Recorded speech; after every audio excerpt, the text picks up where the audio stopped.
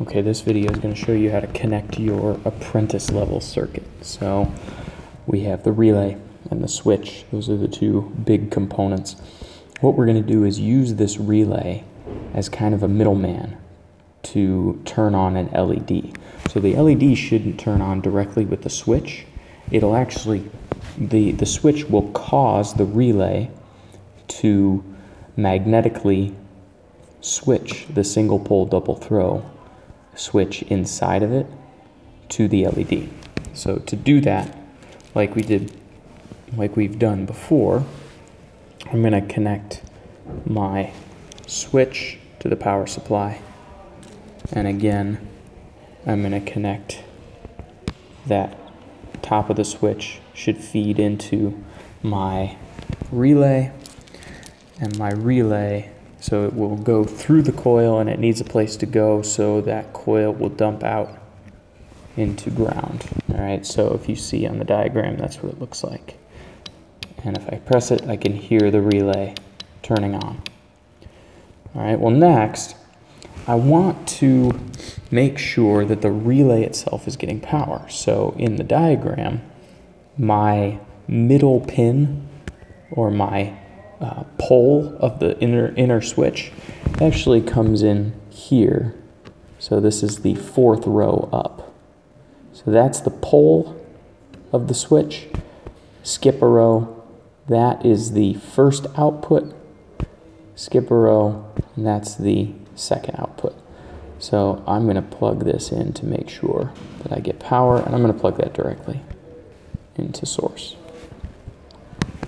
Now, the first output here is what's called normally closed. That means if this uh, if this relay is off, it's, if it's not being electrified, electricity will automatically flow to this uh, to this pin.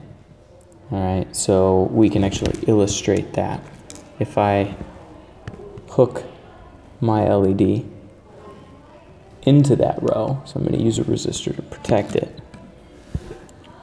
I'll attach my LED over here and I'll put it connected to ground. And if I plug it in, then what's going to happen, oop, I put it one row too high. There we go. Now, if I haven't even activated the relay, but you can see my LED turns on automatically. That's because I have it connected to the normally closed switch. Um, and I don't want that. Now if I press this button, it will turn off. But I want it so that when I press the switch, the relay turns on and it turns on the LED. So I'm actually, my correct circuit would be to connect this to the top output like that. And now it works. That's your apprentice level circuit. Your technician level circuit challenge is to add a capacitor to this circuit so that this coil charges up the capacitor. And then when the switch is released, the LED shouldn't immediately turn off. The capacitor will feed its electricity, its current, back into the coil for just a little bit of time.